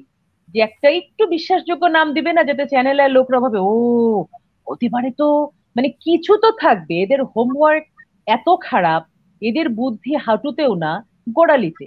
এরা এমন দুটো নাম দিয়েছে যে দুটো নাম নিয়ে মানে তার সাথে আমি কাজই করি না। আর চ্যানেলের লোকরা জানে যে তাদের সাথে আমাদের কাজেরও কোথাও কোনো ওভারল্যাপিং তো এটার আসলে অ্যান্সার করা I think we should move আপনার কাজ নিয়ে বিভিন্ন ধরনের মন্তব্য আসছে। হ্যাঁ বলুন। এটা না আমি interested yes I want to answer যেটা বলা হচ্ছে যে তরুণদেরকে আপনি স্কুলের ছোট বাচ্চাদেরকে তরুণদেরকে আপনি মিসগাইড করছেন ধর্ম ব্যাপারে আপনি মিসগাইড করছেন এবং আপনি উৎসাহিত করছেন ছেলে মেয়েদেরকে ফ্রেন্ডলি মেলামেশার বিষয়ে। এই জিনিসগুলোকে আপনার আসলে কাজের ধরনটা আমরা দেখেছি স্বর্ণকিশোরীতে একটা একটা প্ল্যাটফর্মে সবাইকে এনে দাঁড় করিয়েছেন। এখন আপনি কি কাজ করছেন? আপনি কি এমন কোনো বিতর্কিত কাজ করছেন কিনা? Thank you so much I would love to answer this question আমাদের এই বাংলাদেশ যে আছে, তার মধ্যে সবচাইতে বড় আমরা একটা ডেমোগ্রাফিক একটা ডেভিডেন্টের মধ্যে আছি। যেটা আমরা একটা সুবিধার মধ্যে আছি। সেই সুবিধাটা হচ্ছে কিশোর, কিশোরীর সংখ্যা। তো আপনারা জানেন যে দুই কোটি কিশোর, দুই কোটি কিশোরী, আরও বেশি। সুতরাং প্রায় পাঁচ কোটি কিশোর, কিশোরী আছে আমাদের। আমার টার্গেট হচ্ছে ওদেরকে গাইড করে একটা সুস্থ, স্বাভাবিক, সুন্দর জীবন দেওয়া। যেমন আপনি যদি বলেন যে কীভাবে আপনি তা দেবেন? প্রথমত হচ্ছে বাল্য বিয়ে বন্ধ করতে হবে। কারণ একটা ছোট্ট, আপনারা জানেন এই কারণগুলো, আমি এই মুহূর্তে আপনার সাথে এতগুলো, একটা ঈদের মুডে এসে একটা এতগুলো এক্সপ্লেইন করব না বাট ইউ নো যে বাচ্চার একটা বাল্য বিয়ে হলে ওর কি কি সমস্যা হয়, কীভাবে সে এটা করবে না যেমন কেন সে একটা ছেলের সাথে আগে সম্পর্কে জড়িয়ে যাবে না। এই জায়গাগুলো, এখন যারা আমাকে বলছেন, আমার কথায় যদি কোথাও কোনো ভুল থাকে, অবশ্যই যদি কোনো ব্রিলিয়েন্ট লোক যিনি ধরেন পাবলিক হেলথের এক্সপার্ট অথবা ধরেন ইসলামিক স্কলার, অথবা হু এভার ইট ইজ আমাকে যদি একটু কোট করে পাঠান যে আপনি তো এই কথাটা ভুল বলেছেন, এটা এমন হবে। I will look into it আমার তো সব ঠিক হবে, আমি কখনো তা বলতে পারি না। আমি তো দোষে এবং গুণে হচ্ছে মানুষ। তো আমার কোথাও ভুল থাকলে বলবেন। কিন্তু যখন তারা জিনিসটাকে ফ্রেম করে এবং বলে যে উনি বিভ্রান্ত করছে জাতিকে, তখন আমার মনে হয় ও my god am I that great এটা তো সক্রেটিসের কাজ। জাতিকে বিভ্রান্ত করা আমি ছোট্ট স্কুলে যাই, বাচ্চাদেরকে বলি ফার্স্ট প্রেগনেন্সি ইজ প্রেশার তার মানে কি? যখন তখন যারটার সাথে শারীরিক মেলামেশা করো না। এটাকে আমি খারাপ কিছু বলেছি। এটাকে এখন আপনি বানাবেন, তাহলে তো আপনি উদ্দেশ্য প্রণোদিত ভাবে বলছেন। আমার যে কোনো কথা, আমার যে কোনো আমার বই আছে, আমি বাচ্চাদের জন্য গাইডলাইন তৈরি করেছি। প্লিজ আমাকে অর্ডার করুন, টাকা দিন, আমি পাঠাচ্ছি। আপনি কিনুন, আপনি পড়ুন। আমার কোথাও ভুল থাকলে আমাকে বলবেন, কারণ অবশ্যই সমাজে আমি কাজ করছি, আমার যদি কোথাও ভুল ভ্রান্তি থাকে, আমি শুধরে নিতে চাই। কিন্তু উদ্দেশ্য প্রণোদিত ভাবে আপনি খোঁচা মারে একটা কাজ করবেন আর আপনি ভাববেন, আপনি ব্রাউনিয়ার মনোবলকে দুর্বল করে দিয়েছেন I am sorry I am sorry will never win this is Farzana Brownia আমি একা পথ তৈরি করেছি, একটা একটা করে ইট আমি বিছিয়েছি, আমার পথ আমি তৈরি করেছি। আমার সাথে আমার অলমাইটি আছেন, আল্লাহ তালা আছেন, আমি আল্লাহ ছাড়া আর কাউকে পৃথিবীর ভয় করি না। সুতরাং আল্লাহ আমার জন্য যা ঠিক করেছেন তাই হবে। যখন ওনাকে নাকি গুলি করে মেরে ফেলবে আমাকে নাকি গুলি করে মেরে ফেলবে এসব যখন আমি শুনছি খুব বিশ্বস্ত সোর্স থেকে তখন আমি বলেছি ওই গুলিতে যদি আমার মৃত্যু থাকে আমি তো শহীদ it's okay I don't mind let us face it এমন অফার দিয়েছে কত কোটি টাকা দিয়ে ব্রাউনিয়া তার হাজবেন্ড সার্ভার ডিভোর্স করবে। Yes yes I got it আমি এত প্রেসার যে আমাকে ছেড়ে দিলে মানে কোথায় ওই লেডিজরা বসে আছে যে আমার জন্য অপেক্ষা করছে যে ব্রাউনিয়াকে ছাড়লে তারা আমাকে পাবে। এটা অত্যন্ত খারাপ ধরনের দ্বিতীয়ত আমি এমন শুনেছি, কিছু বাজে লোক ওই সকল ট্রল করার বিষয়ে মন্তব্য করতে গিয়ে লিখেছে যে আমি নবম পদাতিক ডিভিশনের জেনারেল অফিসার কমান্ডিং জিওসি ছিলাম। আমার কয়েক শত অফিসার এবং তাদের স্ত্রী ছিল আমি নাকি সকল স্ত্রীদের সাথে আমার বিশেষ বিছানার সম্পর্ক। এখন ওরা আমার ছোট বোন, ওরা আমার বড় বোন, মা। আমি অত্যন্ত শ্রদ্ধার সাথে বলি, এদের কি এতটুকু লজ্জা সরম বলতে কিছু নাই? নিজের স্ত্রী, বোন ইত্যাদি সম্পর্কেও এরা মন্তব্য করতে লজ্জা বোধ করে না এবং যারা করে তাদেরকে ধরে না। ওই সকল বদমাইশ, অসভ্য ব্যক্তিদেরকে ধরার মতো ক্যাপাসিটি কি ওই সংগঠন এবং সংস্থার লোক যারা এদেরকে দিয়ে কাজ করায় তাদের নাই? অবশ্যই আছে। কিন্তু তারা এটা করছে কার স্বার্থ? কেন? আমি এটা বুঝতে পারছি এটা জনগণের কাছে ছেড়ে দিলাম। আল টু দ্যাট পয়েন্ট যে আসলে দেখেন, যে আমরা যে কাজগুলো এখন ফেস করছি, আপনার আমার যে এইজ আমরা পার হয়ে গেছি। আমাদের ওরা, আমার তো চুলও বাঁকা করতে পারিনি, আমি তো আরও হ্যাপিয়ার আজকে আমার পাঁচজন শ্বশুর আমাকে দাওয়াত দিয়েছে বিশেষ মনোযোগে, বিশেষ উপহার। এই যে আমাকে আমি পড়ে আছি, আমার আমার ননাসের মেয়ে আমাকে দিয়েছে। তো আমার তো কোনো ক্ষতি হয়নি, না সামাজিক, না পারিবারিক, কারণ আমার পায়ের নিচে মাটি আছে। আমার এক বান্ধবী খুবই সফট হার্টেড সে আমাকে বলল, তুই কিছু বলবি না? কেন আজ আমি আপনার সাথে কথা বলছি? আমি বলেছি, না golden silence is golden I don't talk about this kind of rubbish আমি কথা বলি না এসব নিয়ে। আমি দীর্ঘ সময় ধরে এটাই আমার প্র্যাকটিস আজে বাজে কথায় আই ডু নট অ্যান্সার কখন কোন কুকুর ঘেউ বলেছে এখন এই ঘেউয়ের মানে কি? এই ঘেউ কেন বলল? ওই কুকুরকে ধর, এটা করলে আমি গন্তব্যে কবে পৌঁছাবো? I do not listen to this barking তো আমাকে আমার বন্ধু বলছে যে, তুই কিছুই বলবি না? আমি বললাম যে, না। সে বলল you can do this you have to speak out why why do I have to এরা বড় ঘটনা, এরা করছে, করতে দে। ওরা কয়দিন করবে? ওরা একশো দিন করবে। তারপর যখন আমাকে খুঁজে পাবে না, শত্রু খুঁজে পাচ্ছে না, ওরা টায়ার্ড হয়ে অস্ত্র টস্ত্র রেখে চলে যাবে। তখন আমাকে আমার এই বান্ধবী বলল যে নো আমার মেয়ে আছে, তোমার মেয়ে আছে। ধরো তুমি আর আমি আমেরিকা চলে গেলাম, এই বাংলাদেশে আরও অনেক মেয়ে আছে। তাহলে কি তুমি এই মেয়েদের জন্য এটাই এক্সাম্পল রেখে গেলে? যে তোমার নামে কিছু বলল তুমি কোনো প্রতিবাদ করলে না? তুমি শক্তিশালী, তুমি পার হয়ে গেছো, তোমার এমন হাজবেন্ড আছে, তোমার এমন মা বাবা আছে।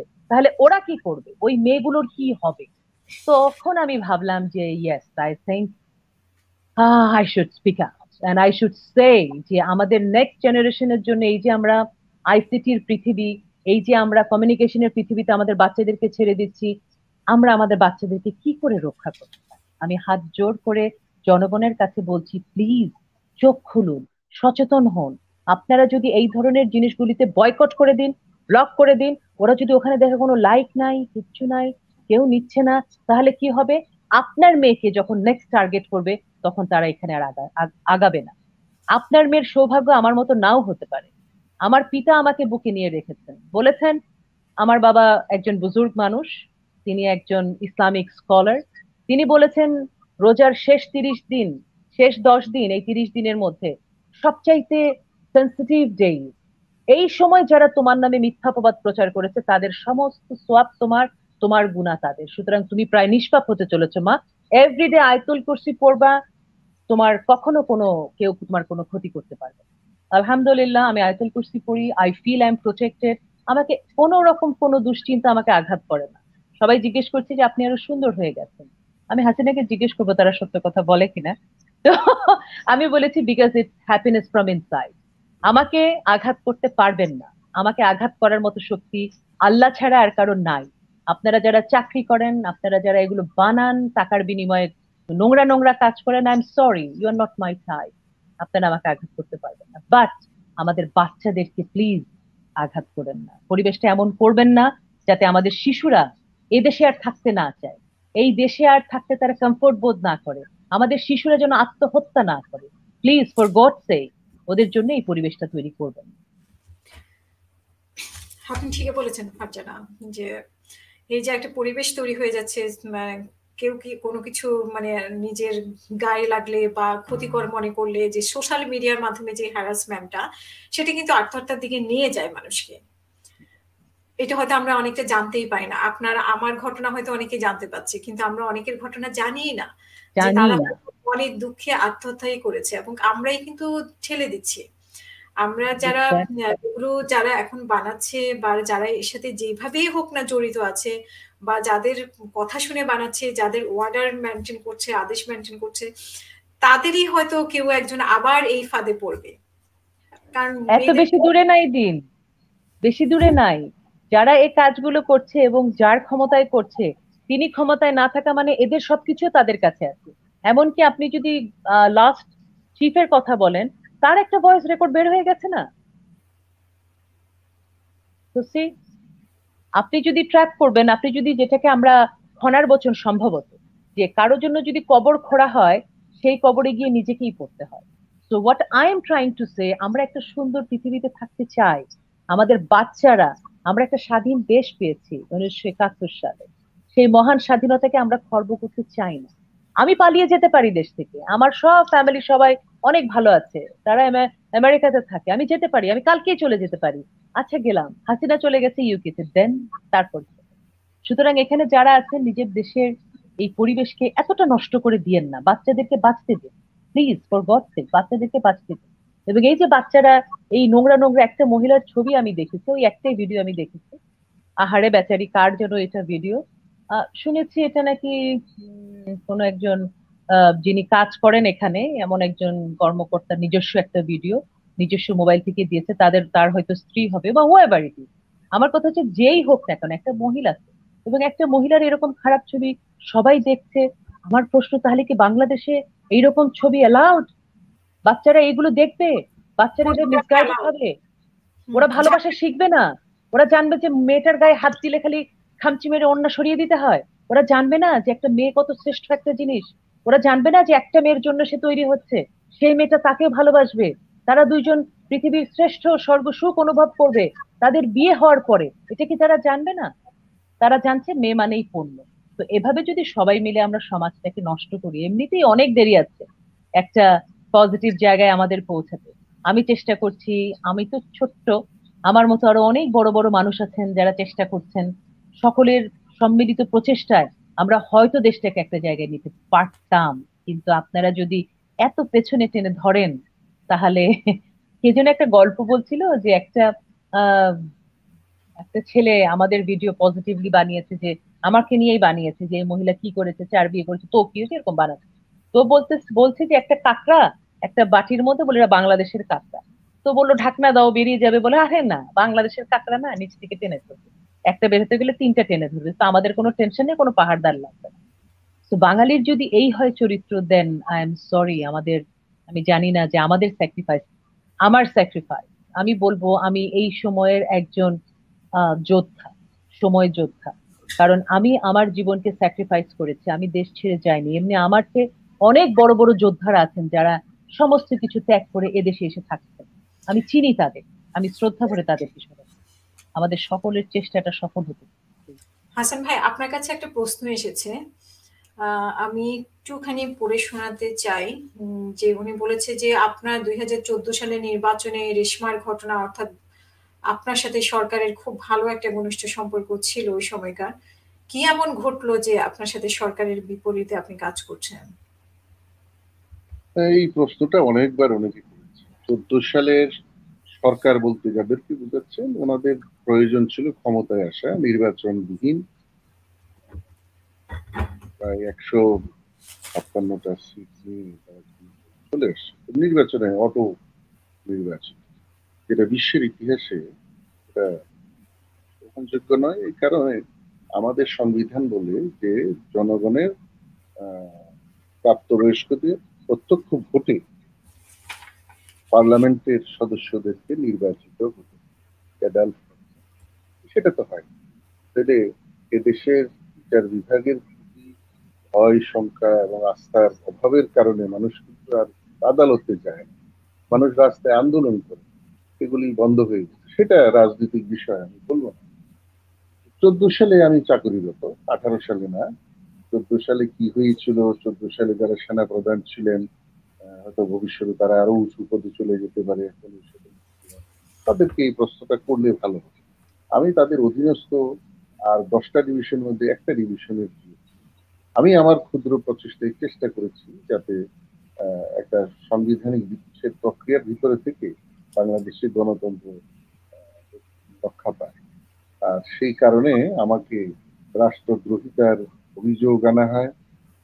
আমার নাম দিয়ে মাহমুদুর রহমান মান্না আরও একজন ব্যক্তিকে মামুন আরও কাকে কাকে এদেরকে জেলে পোড়া হয়, এদের উপরে নির্যাতন করে তাদেরকে প্রেশার দেয়া হয়, আমার নামটা বললে তাইলে আমাকে নিয়ে ফাঁসি দিয়ে দিতে তা আপনাদেরকে এগুলো নিয়ে যারা জনগণ এসব বিষয়ে তথ্য নেই, জানে না, তাদেরকে তো এগুলা খাওয়ায়। আর আপনি আর একটা প্রশ্ন করেছেন, রেশমা আমি বারবার বলেছি, রেশমা, উদ্ধারটা আমার ডিভিশন বা আমরা করিনি।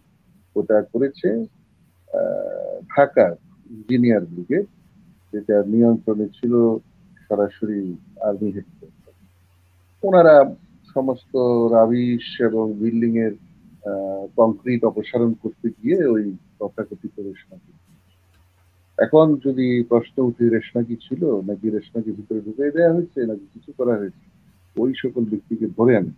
আর এটা যদি সরকারের বা তৎকালীন রাজনৈতিক দলের কোন রকমের ষড়যন্ত্র হয়ে থাকে, তাহলে বিচার বিভাগীয় তদন্ত হওয়া এবং আমিও মনে করি যে এটা নিয়ে এত কথা বলার কি আছে? তদন্ত করেন, সেই রেশমাকে যদি কোনো ব্যক্তি ওখানের ভিতরে ঢুকিয়ে বিশেষ ফায়দা লুটার চেষ্টা করে থাকে, অবশ্যই নবম পদাধিক ডিভিশন বা তার সৈন্যরা না, তাদের বিরুদ্ধে কঠিন শাস্তির ব্যবস্থা করে। কারণ ওটি আমার প্রয়োজন ছিল না। আমি তো পাঁচ হাজার লোকের সাড়ে পাঁচ হাজার লোককে উদ্ধার করেছি। এর মধ্যে অবশ্য অনেকেই জড়িত ছিলেন। আমার কাজ শেষ। ওয়ান রেশমাকে কে উদ্ধার করল প্রত্যেকে আসলো that's not my subject but সেটাতে যদি ষড়যন্ত্র হয়েই থাকে মনে হয় যেটা আমার এখন মনে হচ্ছে আপনাদের কথা হ্যাঁ কি ষড়যন্ত্র হতে পারে। তাহলে ধরছেন না কেন? না না why you are not asking those people those political people যারা সেখানে ছিল সেই সকল মিডিয়া যারা সেখানে কাজ করেছে সেই সকল ব্যক্তি যে এই ভাই রেশমাটি থেকে আসে। সবচেয়ে বড় কথা রেশমা মরে নাই। রেশমা ওয়েস্টার্নে চাকরি করে বেঁচে আছে। আমি তাকে দেখেছি ওকে কেন জিজ্ঞেস করা হয় না? ওর সাথে কথা বলে জিনিসটাকে পরিষ্কার করা হয় না ওয়াই জেনারেল সার্ভার কারণ তার ইমেজটা টার্নিশ করার জন্য। কখনো রেশমা কখনো চোদ্দ সালে নির্বাচন কখনো কখনো আঠারো সালে নির্বাচনে বলে যদিও আমি আঠারো সালে চাকরিতে ছিলাম না। তারা কি জানেন আমার উপর দিয়ে কি অত্যাচার গেছে? চোদ্দ সালের বারোশো তেরো সালের পর থেকে। তারা কি জানে আমি কি কষ্ট ভোগ করেছি?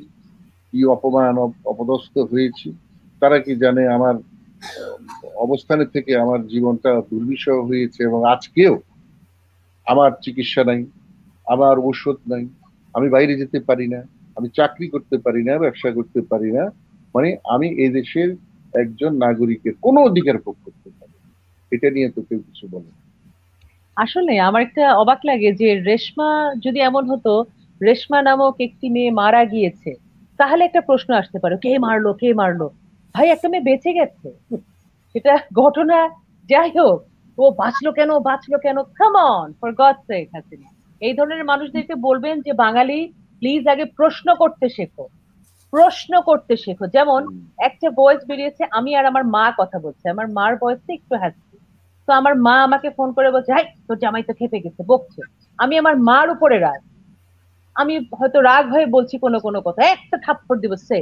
This is my very private talk with my mother আমি আমার মায়ের সাথে কি বলব এটি রেকর্ড করে আমার স্বামীর বিরুদ্ধে ব্যবহার করা হয়েছে।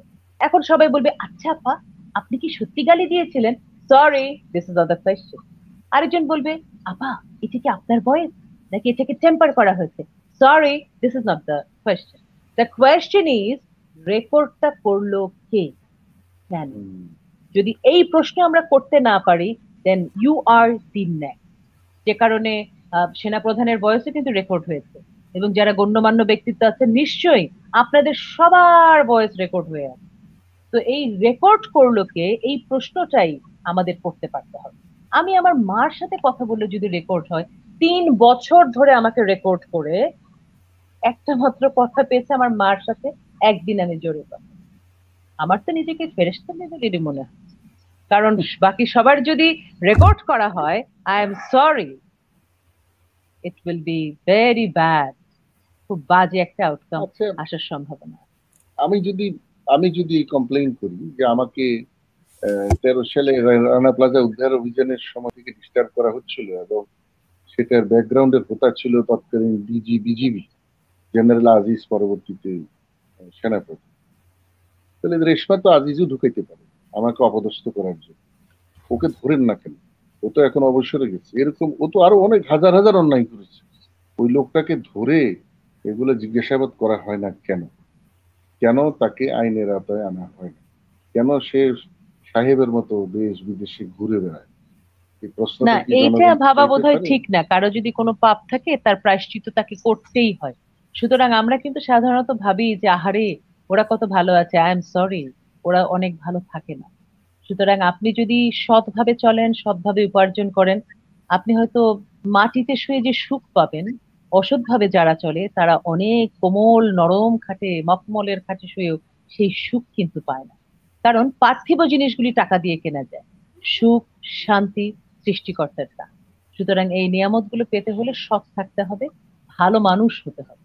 And let us try to do that রেশমার ব্যাপারে বোধহয় হাসিনা আপনি কনভেন্স আমার সাথে কি একমত যে এই প্রশ্নটা কেন করল মেয়েটা বেঁচে গেল কেন? আপনি বলেন। মেয়েটা বেঁচে গেল কেন? সেটাও একটা অনেক বড় প্রশ্ন এখন হয়ে দাঁড়াল।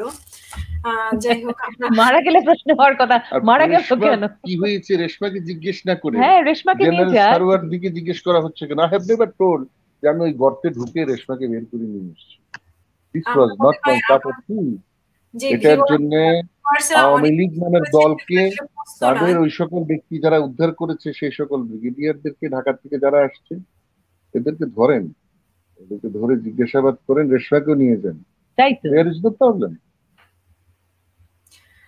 আমাদেরকে যে দর্শক প্রশ্ন করেছে নাসির শিকদার নিশ্চয়ই আপনি বুঝতে পেরেছেন স্যারের উত্তরটা আপনি বুঝেছেন এবং জেনেছেন যে আসলে প্রশ্ন তো রেশমা তো বেঁচে আছে রেশমাকে জানা যায় এবং এর সাথে যারা জড়িত আছে তাদেরকে ওয়েস্টিনে যান ওয়েস্টিন জিজ্ঞেস করা যায়। job there. She can answer you. What happened with her?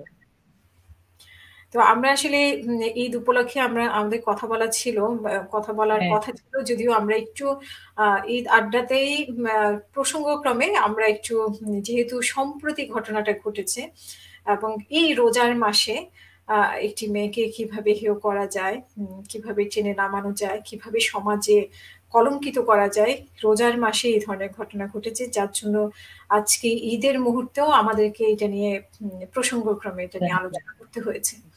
তা আমরা আসলে অনুষ্ঠান শেষ করব ব্রাউনিয়া আপনি অনেক কথাই বলেছেন এবং আপনার যদি আরও কিছু বলার থাকে দর্শকদের জন্য আমাদের দর্শকদের জন্য এবং আপনার যারা শুভাকাঙ্ক্ষী আছে তাদের জন্য তাদের জন্য আপনার কি বলার আছে Thank you very much for having me, Hasina. I am here right now. I'm talking on behalf of all the adolescents, girls and boys. আমি আমাদের যে কিশোর কিশোরীরা আছে তাদের পক্ষ থেকে বলতে চাই ওদের কণ্ঠে বলতে চাই যে, তোমরা যারা এখন একটু বড় আমাদেরকে অর্থাৎ আমাদের যে বয়স, আমি কিশোরীদের ভাষায় বলছি, যে আই কোট তোমরা যারা আমাদের চেয়ে একটু বড় আছো, তোমাদের চেয়ে যারা একটু বড় ছিল, তারা একটা স্বাধীন দেশ তোমাদেরকে এনে দিয়ে তোমরা একটা অর্থনৈতিক মুক্তির জন্য সংগ্রাম করেছ, স্বীকার কিন্তু এই সংগ্রামে এসে তোমরা যেখানে ব্যর্থ হয়ে পড়ছো বারবার, আমাদের জন্য একটা, আমাদের জন্য একটা বসবাসের অযোগ্য একটা ভূখণ্ড একটা বাসভূমি তোমরা রেখে যেও না। তোমাদেরকে আমরা সেক্ষেত্রে কখনো কোনোদিন মাফ করব সুতরাং আমাদের যে বয়সে আমরা আছি আমরা একটু সাবধান। আমরা আমাদের সন্তানদের জন্য অযোগ্য বসবাসের নোংরা দুর্গন্ধযুক্ত বাসা বাসভূমি রেখে যেতে চাই না। এবং এই সংগ্রামের সাথে দয়া করে যারা অভিভাবক আছেন আমি তো মনে করি প্রত্যেকটা মানুষের পরিবার কারও মা আছে, বাপ আছে, একটা মানুষও তো এমন নেই। হাত তুলে বলতে পারবেন যে, ভাই, আমি আসলে মায়ের পেট থেকে আসি নাই, আমি আসলে আসমান থেকে তাপাস করে পড়ে গেছি, ভাই। কেউ কি বলতে পারবেন? দ্য অ্যান্সার ইজ নো আপনি আপনার মাকে কেন অসম্মান করেন হয়তো আপনার মা, যিনি খুব বাজে লোক তাকে বলছি, হয়তো আপনি আপনার মাকে দেখেছেন ব্যভিচারী হতে আর এ কারণে আপনার এই মানসিক বিকৃতিটা ছোটবেলায় ঘটেছে যে, আপনি মেয়েদেরকে রেসপেক্ট করেন না। আপনার জন্য আমার কথা হচ্ছে। আপনার মা ব্যভিচারী হতেই পারে। এত মেয়ের মধ্যে একটা মেয়ে ব্যভিচারী হতেই পারে। আপনার প্রতি সে অন্যায় করতেই পারে। তাই বলে আপনি সমাজের প্রতি, রাষ্ট্রের প্রতি সেই অন্যায়টা করতে পারেন। যদি আপনার মা ব্যভিচারী হয়েও থাকে, খারাপ মানুষ হয়েও থাকে, যে কিনা আপনাকে লালন পালন করেনি, অত্যাচার করেছে, অনেক লোকের সাথে চলে গিয়েছে, যে কারণে আজকাল আপনার এই মানসিক বিকৃতি। তারপরেও আমি বলব ইউ ক্যানট ডু আপনি যখন একটা কমেন্ট করেন, আমি খালি তাকে একটা কমেন্ট দেখেই বুঝতে পারি ওর বাপকে, ওর মা।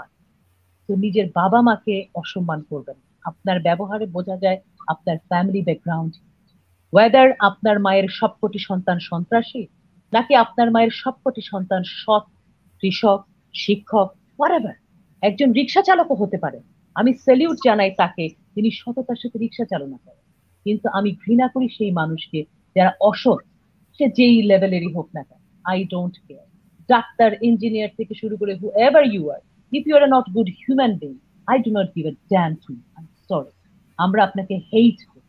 আর যদি আপনি ভালো মানুষ হন, তাহলে আপনি যেই হন না আপনি যদি বেকারও হন, তারপরও আমরা আপনাকে তো বাচ্চাদের হয়ে বলব, তাদের একটা সুন্দর ভূমি দিয়ে যাবার জন্য এই আইসিটির পৃথিবীতে এই ধরনের সাইবার ক্রাইমের বিরুদ্ধে সোচ্চার হতে হবে আমাদের এজেন্সিরা খেলবেই, ওদের পারপেজ আলাদা, ওদের ওয়ার আলাদা বাট আমরা আমাদের বাচ্চাদেরকে রক্ষা করব।